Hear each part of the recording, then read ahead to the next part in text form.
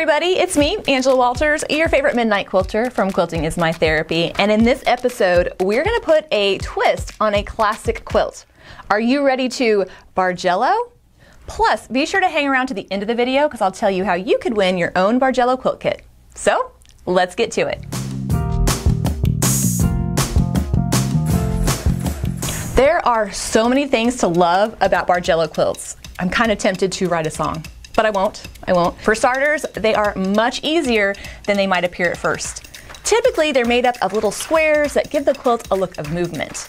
But we're not cutting out a bunch of little squares, we're gonna cut out some strip sets and then do some creative piecing and unpiecing to make that come to life. There's so many different ways you can lay out a Bargello quilt, but for this pattern, I've kept it nice and easy, so it's kind of like baby steps into Bargello. For the quilt itself, I put together this quilt kit of some of the fabrics from my Crystals fabric collection. They're a little bit geometric, a little bit ombre, and a whole lot of rainbow awesomeness. So these colors are gonna give it just a beautiful rainbow look. And then I've picked out a lovely accent color just to give the quilt some continuity. Well, I can't stay here and just play with the fabric all day. Let's get to cutting. Even though it may look like there's curves in this quilt, there isn't. It's all made through the magic of strip sets. So I'm gonna take each of my rainbow fabric and cut them into strips. And even though typically Bargello quilts are made with two and a half inch strips, I'm gonna cut these a little bit wider so I have less piecing, which means a quicker finished quilt.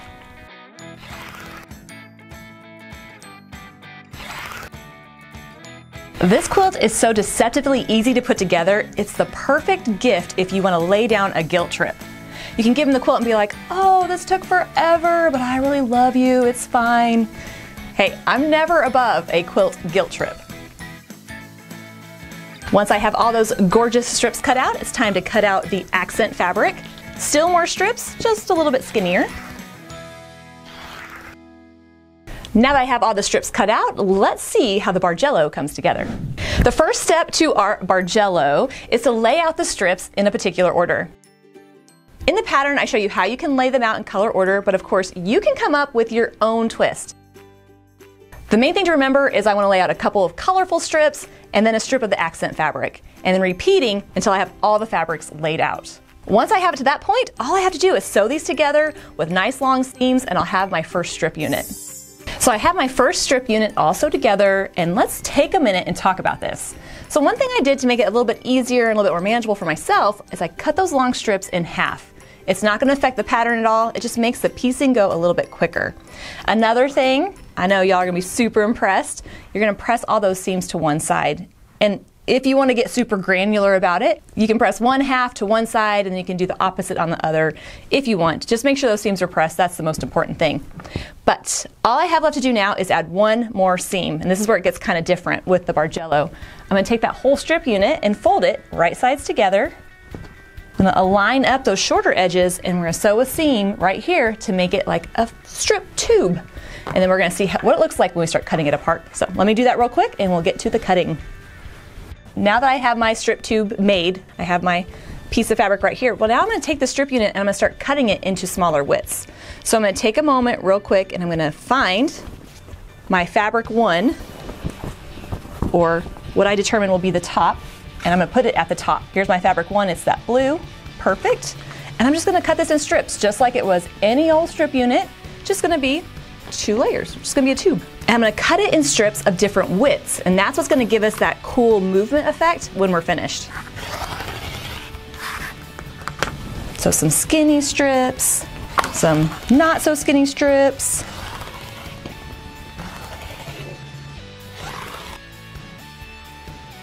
Once I finish cutting up that strip tube, I'm gonna do the other half, same widths to make my strips, and then we'll do some creative unsewing to see how it comes together.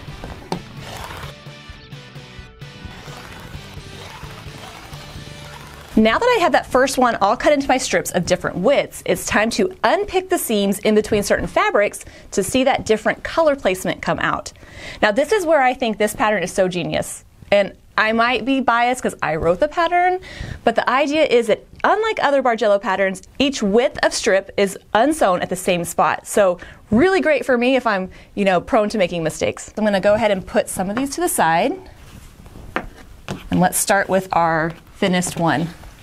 I'm going to pull out the seam in between fabric one and fabric 12 on that other side. And this is where we're gonna see something very unique. I'm actually holding a seam ripper. Usually we're not the best of friends because if I have a seam ripper, it means the quilting is not turned out great and it is a bad day at the Walters household. But this time, it's actually gonna be a tool to help me make my quilt top. So I'm sorry for all the mean things I've ever said about you.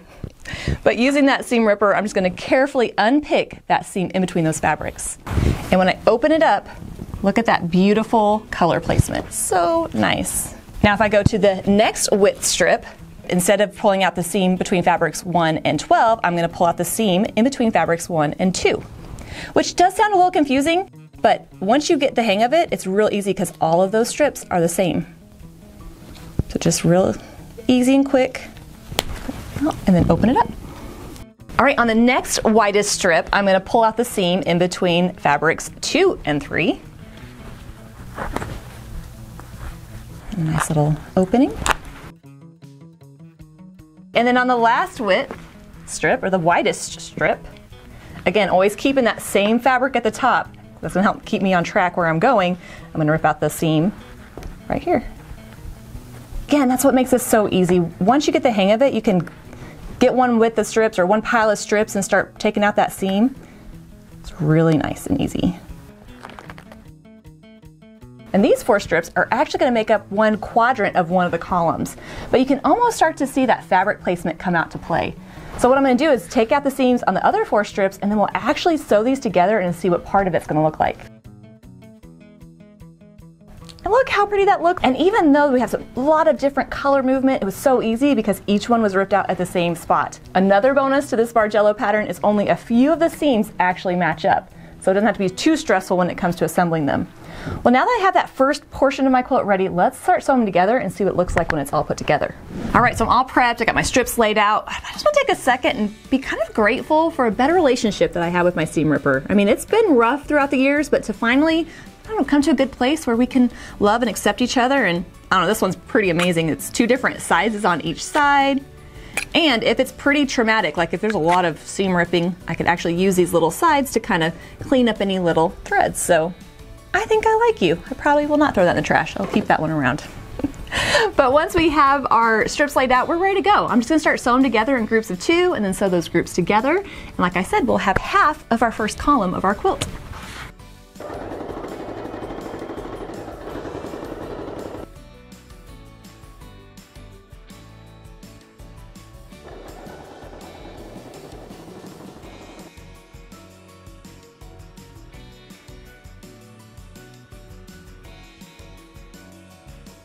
Now that I got those strips sewed together in groups of two, I'm just gonna sew these groups together and we'll see what it looks like when it's finished.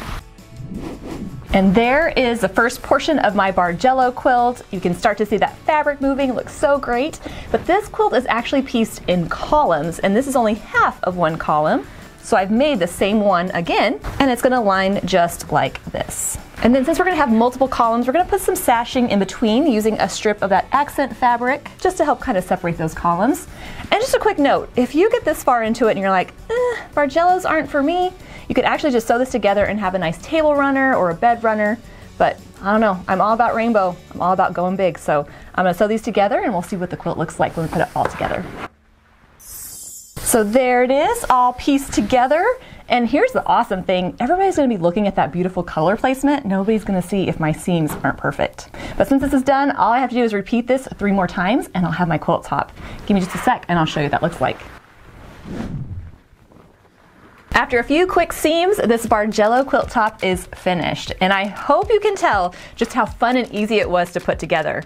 Well now all I have to do is go ahead and quilt it, get it bound, and I can show you what the finished product looks like. And this Bargello quilt is finished. I just love the rainbow of colors, how it adds a bit of movement, and all those little bitty pieces that I didn't have to cut out makes it even better. And don't forget, if you want to get your hands on your own Bargello quilt kit or get the pattern, all you have to do is scan the QR code in the corner or check out quiltingismytherapy.com. And one lucky quilter will have a Bargello quilt kit all their own. All you have to do to win is leave a comment letting me know what you think about the Bargello technique and I'll pick a random winner next week. Good luck everybody. And I'll be back soon with another episode of the Midnight Quilter. Until then everyone, happy Bargello quilting.